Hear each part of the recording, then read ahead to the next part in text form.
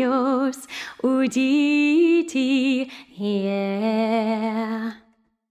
One happy birthday dot com.